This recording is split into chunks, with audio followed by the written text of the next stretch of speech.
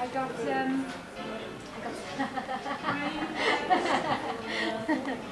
I got some cards here from uh, Annie and uh, Jennifer. Uh, no, I'm renting at the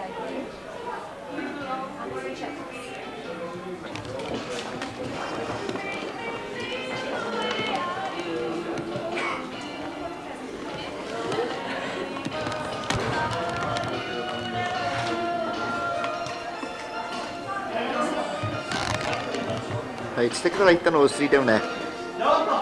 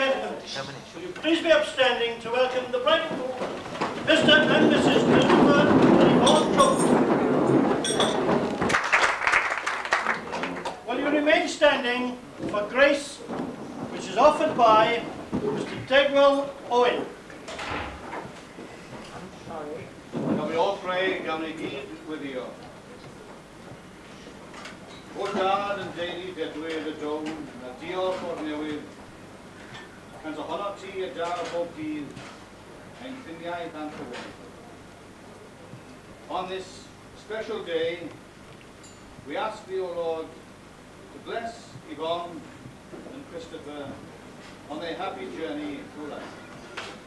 And similarly, for what we are about to receive, may the Lord make us truly thankful. For his name, Amen.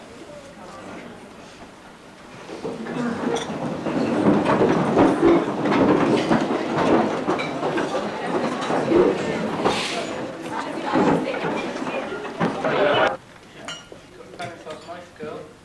No good on factor. Now, all right to laugh in the truth. So pride in the group. Will you please be upstanding and toast of Ryan and Crowe?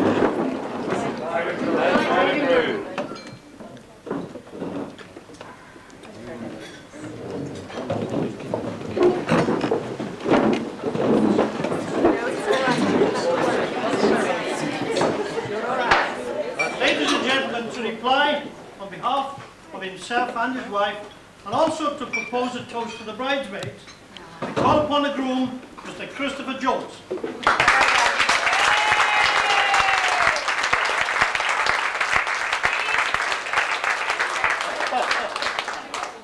I'd like to welcome all to Grogan Arms on behalf of me and my wife.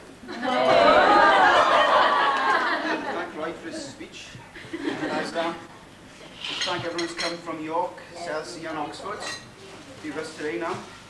It's a great pity that my grandfather can't be with us because he's in hospital at the moment. So I'm sure you'd all agree. We wish him a speedy recovery and then he'll come out next week. with me. Uh, I'd like to say that the bridesmaids look extremely lovely. It's, uh, not as nice as it would. uh,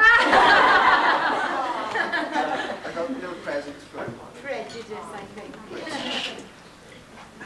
One for Sean. Like a, the Go on. No, pass it down. Sarah?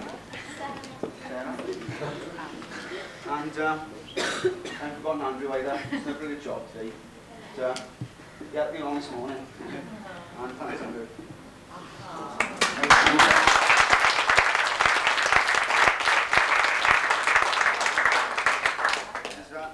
also thank um, my mum, Vaughan's mum and Rob, They've been a great help and they've done a lot for us. And um, some flowers here for my mother.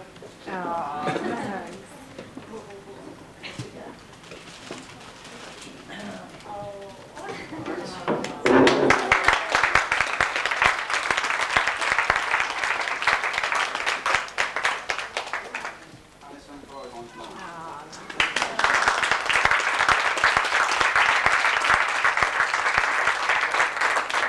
And uh, I'd all like to toast, toast the bridesmaids. And um, we have a happy life. Will you please be upstanding and toast to the bridesmaids?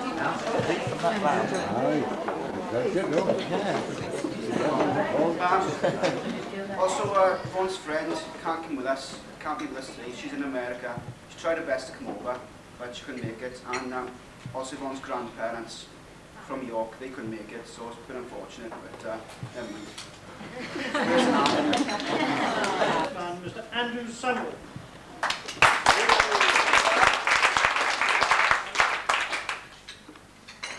On behalf bridesmaids, I must say a big thank you for the kind words Chris said about them. But as you can see, I'm not a bridesmaid.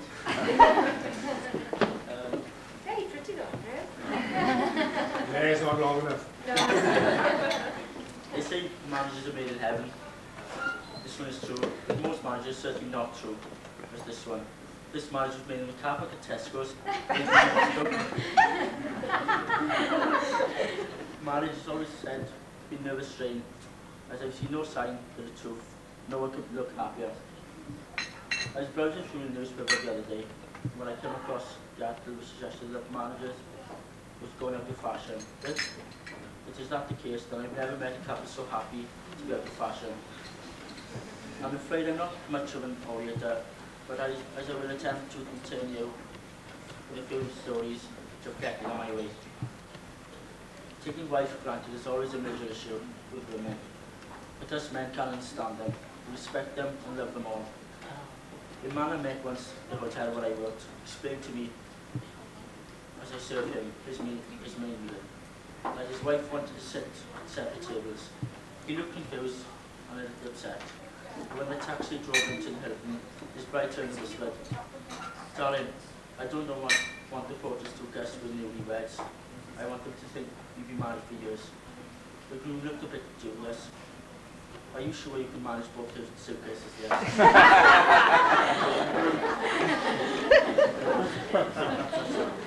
now we should be some of the cards, thank you. Not going to read all of them, as you can see. It's quite a few. Simply be today with love from Grandma and Grandad, Leslie. Sorry can't be with you.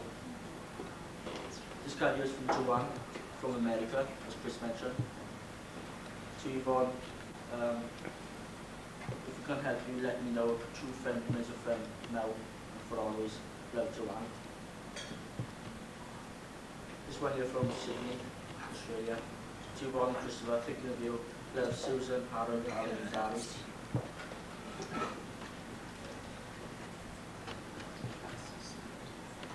To Chris Yvonne, best wishes for your future love together. Doris, Guy, Alistair, London.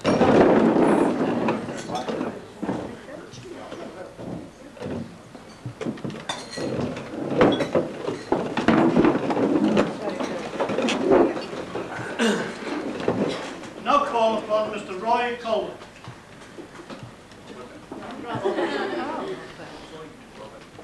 Uh, Good afternoon. Uh, Welcome you all here on behalf of both families. Uh, It's nice to see that people have made a big effort to travel from uh, North Yorkshire far south as Portsmouth, Chelsea. Um, Thank you for uh, joining us on this happy occasion. Um, I'd like to thank all the people who have helped over the last couple of months to get the wedding together. Um, there's a lot of people who knocked the door or rang up and asked what can you do to help. And uh, we've been grateful for all the help that has been received. Um, special thanks to John and Joan on the video team and for Chris for the uh, singing at the wedding. It was beautiful. Thank you very much. Um, most of the effort has been made by Coral, the bride's mum, and Marlene, the groom's mum. And also the fact that uh, the bums haven't touched their seats for the last two months. They've been very busy, and uh, I think that um, their effort has shown that things can be going quite nicely at the moment. Um, to Chris and Yvonne, uh, embarking on a very difficult and treacherous road. It's a long and winding road to coin uh, words from a famous song. Um, the important thing is that uh, you walk that road together. Um, I think a smashing girl. Uh, I think she can only be good for Christopher. Anyone who holds a torch in a windswept garage, 11 o'clock at night in the winters, uh, when the wind is blowing, It's got to be can't be all that bad, it's got to be love. Special message like to um, give a thought to those uh, family and friends who are not able to be with us today for various reasons as members on both sides of the family who have been able, unable to attend. Uh, special message from your grandpa, David Glyn Harris. Um, he sends you best wishes uh, for a long and uh, happy marriage. And he's looking forward to seeing both of you shortly. Uh, just like to say on behalf of uh, Marlene, myself and the boys, Angela, um, a long and happy marriage to both of you.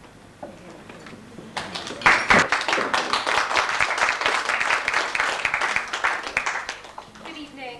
Morning, afternoon, whatever. I don't know what time it is, right? I'm in a diz. I'm really spinning today. It is a fabulous day. And I know when I said to Mr. Phillips I would like to say a few words, I, I think he said, oh, well, that's a novelty, but I don't care about um, etiquette. Uh, I felt that I wanted to stand up in front of you all today and just to say a little few words. I will say, right, to Um, family and to friends, wonderful to see you. To people that I haven't yet met, but I've met briefly, but I don't really know very well. We'll get to know each other before the end of the night, and I'm sure we're going to be great friends, okay? Um, but tonight, well, today here now, there are some of my most favourite people in all the world. It is a couple of people that are missing, um, and it is lovely. It's very a joyous occasion to have you all together on such a fantastic day, and it really is a fantastic day. Um, I'm sure you all agree with me that my gorgeous new daughter-in-law, she is gorgeous. She really does look beautiful. And I'm delighted that she now belongs to me. She's very important to me. Um, a little bit of advice to you both. And you'll have lots and lots of advice. But this is, this is the advice you should listen to. You should always listen to mum, you know that. Things that you do, do together. Always share them. If it's cleaning, if it's shopping, if it's gardening, if it's decorating, do them together because it doesn't feel that you are doing a job. When you do it together, you're sharing it and it's lovely.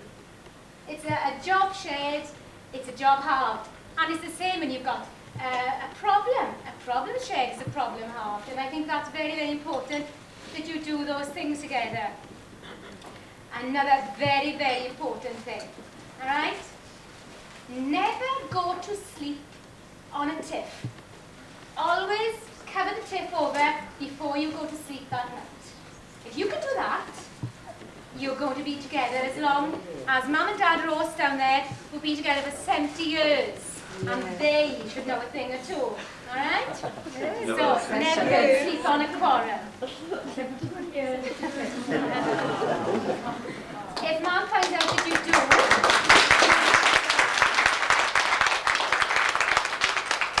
if mom finds out that you do go to sleep on a quarrel, there's going to be a row. Right, and the pair of you. But I've got a little gift I've for seven, you. I've seven kids as well.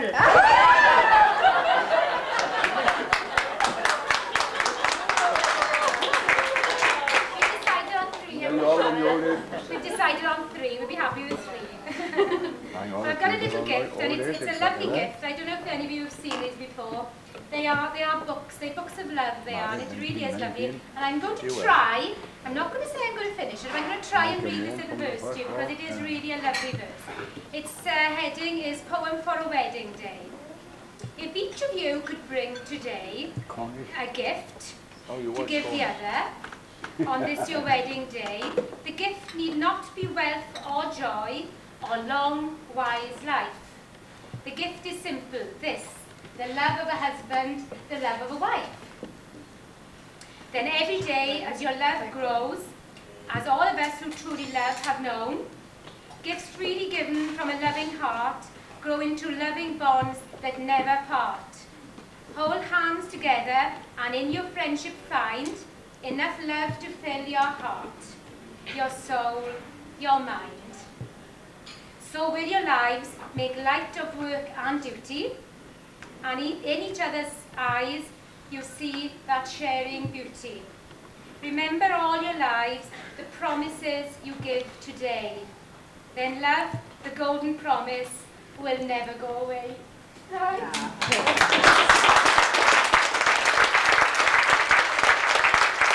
I've been dreading this book ever since you gone and announced her wedding eh? day.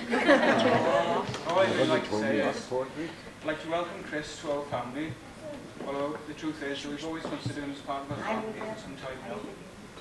And I've always got on well with him in the past since he gone first brought him home. I look forward to that continuing in the future. I'd just like to wish all the best to and Chris.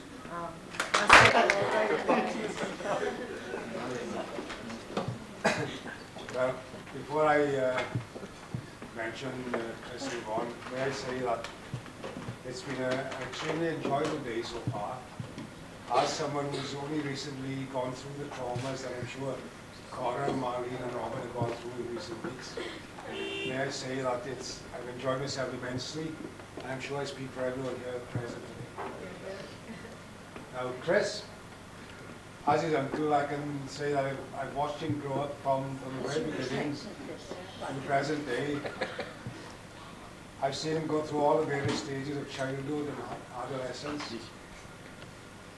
Um, and I've been wondering, what, what can I say about him? I could talk about his, uh, the way he used to break everything he touched. his tantrums and his, uh, his necessity of using a bib every time he sat a meal. I thought, well, let's talk about things that, you know, forget about things he still does. Let's talk about something different. and I can say, well, he's grown up into what I consider to be a very sensible and mature person. He's chosen the bride, well, I'm sure, I haven't known Yvonne as long as Chris, obviously. Since I've known her, I've known her to be a very lovely, very sensible, and very, the right sort of person for Chris, I'm sure. Uh, since Yvonne and Chris got together, Jennifer, myself, I know everyone who knows them will agree that they've made for each other. And uh, I wish them all the happiness in the future. All I can say is to repeat what was already said is, Chris, Yvonne, you are every happiness in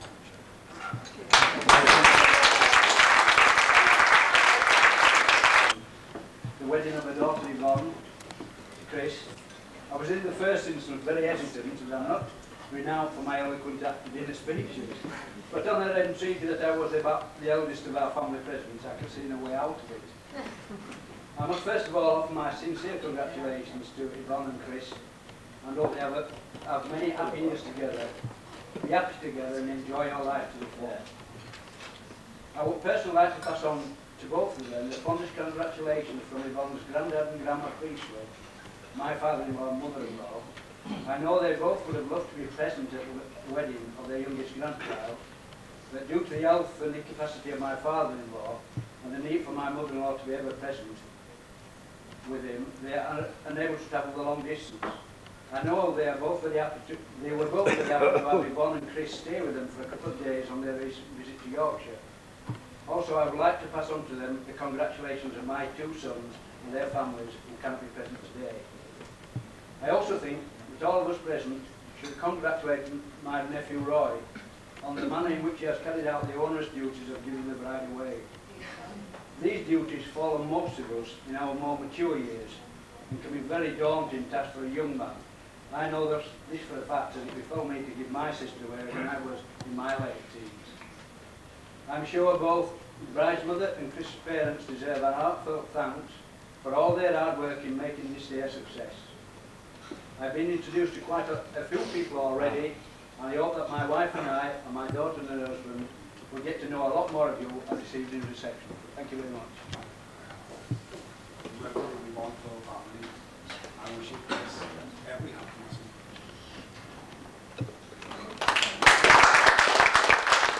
is incomplete, but on his wedding day he's finished. thank you very much for your attendance to our foreign guests. Which means thank you very much. Uh, would you please take your time in leaving the tables, but they have got to be cleared ready for this evening. Thank you very much for your attendance.